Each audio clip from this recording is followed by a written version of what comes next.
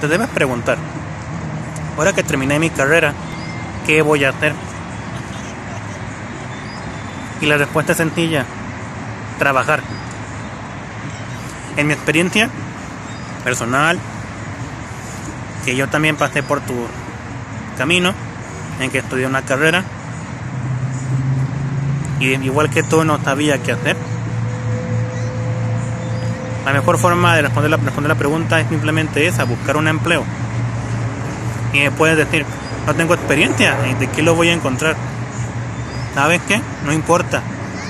Lo importante es que trabajes, que ganes experiencia, que pierdas la pena de hablar, para que te quites de este miedo y dejen de depender de del papá, de la mamá, y te de tu primer salario, te compres tus primeras cosas y poco a poco te vayas desarrollando profesionalmente. Porque esta vez el tener una carrera no te garantiza que tengas trabajo al terminar. Si tú eres egresado y no tienes trabajo, lo sabes. Y vas a acabar tu carrera apenas, tienes que saberlo.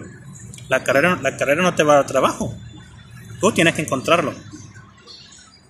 ¿Y cómo lo encuentras? Trabajando, dándote a conocer.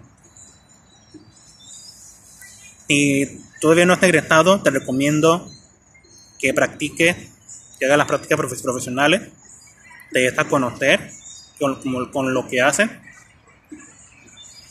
y practique para que cuando termines no tengas el temor de no te hacer nada. Pero si tú ya eres egresado, y no habías trabajado antes, busca trabajo de lo que sea, no importa. Para que tengas experiencia en algo, aunque no sea de tu carrera. Con el tiempo, en tu trabajo, que estás trabajando, verás tus aptitudes y poco a poco tendrás un trabajo que corresponda con lo que estás haciendo. O igual, el trabajo que tengas, úsalo como trampolín. Haces tus ahorros te haces publicidad, te, compras tus tarjetas de presentación, un volante, te publicitas en Facebook o donde quieras y la gente te va a conocer. Y bueno, eso básicamente. ¿Qué vas a hacer cuando termines la carrera? Trabajar, no hay más. Pero claro, si tienes la fortuna de ser el mejor promedio de tu generación y te gusta la investigación, está el camino del posgrado es otra oportunidad que también puedes tomar. Pero, si no lo eres, y toca el camino largo como a mí, como a muchos, déjame decirte que no es el peor camino. Vas a encontrar tu camino poco a poco y lograrás avanzar.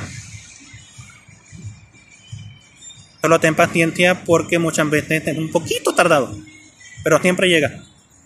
Así que ten confianza y sigue adelante. Y si ya felicidades. Bienvenido, colega. Saludos.